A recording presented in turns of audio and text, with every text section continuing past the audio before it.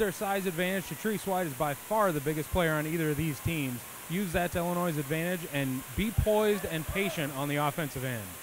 Brittany Carter with the shot up and good. 5 0 Illinois. No good. Missed it that time by Carr, and Illinois with the rebound. Nice outlet pass from Simmons, and Jacqui Grant lays it in. From Cedar Rapids, their leading scorer we talked about, averaging 12.8 points a game. Three pointer by Kyley Simmons. Hamlet drives in as her shot rejected by Carter, and Ivory Crawford clears it for Illinois. Beautiful pass to Taylor Tuck in stride. This is in the rebound to Jacqui Grant in the Fighting Illini.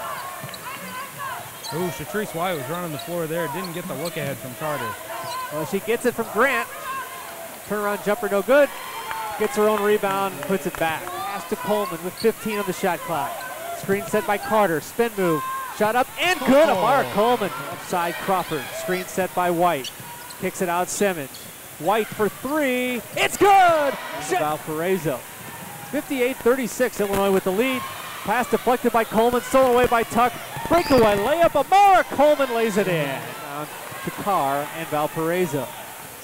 Miller on the dribble, and it's stolen away by who else? Brittany Carter.